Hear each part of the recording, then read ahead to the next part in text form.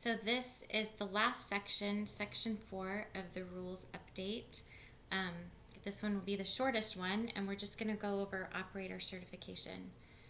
So, certified operator is required for all community and non transient non community systems and any water system that treats surface water or has a groundwater under the influence, direct influence of surface water source. Um, how do you become certified? Well, you can take the test and pass it, um, and that certification is specific to the operator.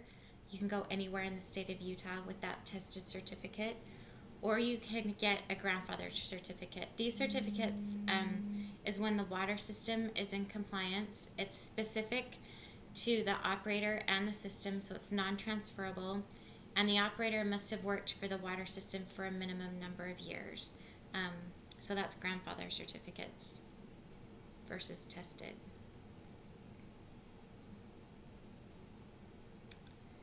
Okay, so um, there's two types of certificates. Um, you can either be an operator where you actually work for a public water system, or you can be like me. I obviously don't work for a public water system, but I do have an, a certification. So I'm a specialist, which means I don't work for a water system, and that's in red because it's been known to be a question on the exam. So there's um, different levels of certification. Treatment has four levels. T1 is the easiest, T4 is the most difficult. Distribution certifications have five levels. SS stands for small system, and that is typically considered the easiest. And then it goes up to D4, which is um, the most intense. There's required experience um, in order to have an unrestricted license. Um, experience can range from zero to 10 years. And the reason why you have to have a required experience for an unrestricted license is because the exam cannot measure uh, what you can do out in the field. I myself have zero experience in the field. I've worked at the Division of Drinking Water for many years and never for a water system. So my um, certificate is very restricted. Um, Restricted means that you're certified at or above grade level that's required for the system, but you lack the required experience. So that's unrestricted versus restricted. Just when you think of restricted, think of me. Rachel is very restricted. Okay, so you can become a direct responsible charge operator, which is what DRC stands for. All DRC operators have to be certified at the level of the public water system. And these operators make independent decisions which can affect the quantity or the quality of the water. That's very important to remember. These operators are, um, they're driving the train, they're running the ship. Um, the supervisor's signature is required um, in order for us to give the DRC designation. And if all of the DRC operators leave a water system, then the division must be notified within 10 days and then you have to obtain a new certified operator within one year. So these are the requirements for an unrestricted license.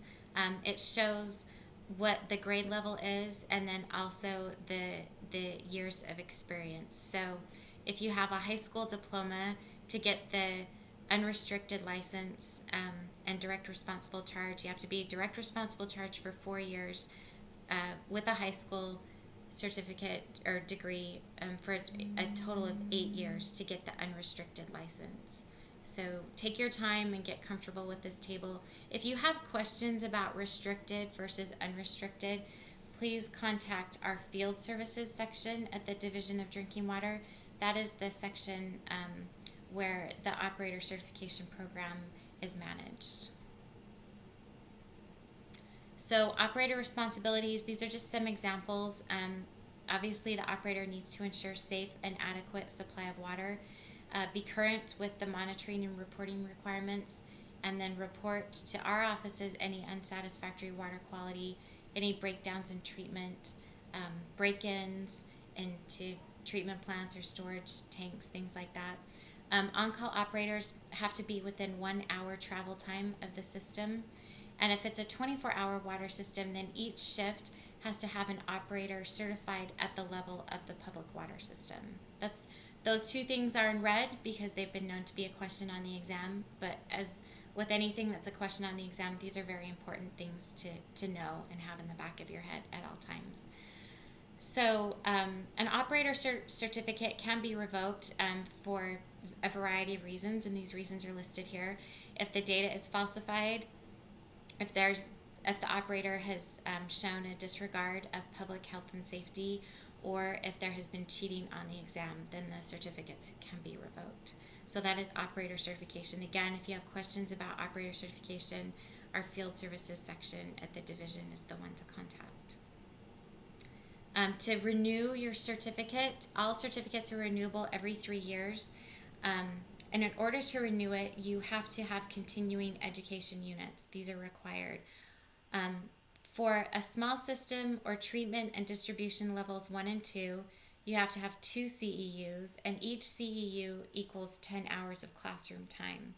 So, over a three year period, if you're a small system or a T1 to T2 or D1 to D2, you have to have 20 hours of classroom time over a three year period to renew it. If you're a T3, D3, or T4 or D4, then over a three year period, you have to have 30 hours in order to renew um, that certificate. If you want to know how many CEUs you currently have and you don't know, you can go to our online reports section um, at drinkingwater.utah.gov or you can call our office and we can look that up for you in real time. So that ends the final fourth section of um, the rules update. Again, you can take a short quiz after viewing these presentations, and if you pass the quiz, uh, you will get some CEUs. And if you have any questions about the presentation, um, feel free to contact us. We are at 801 536 4200.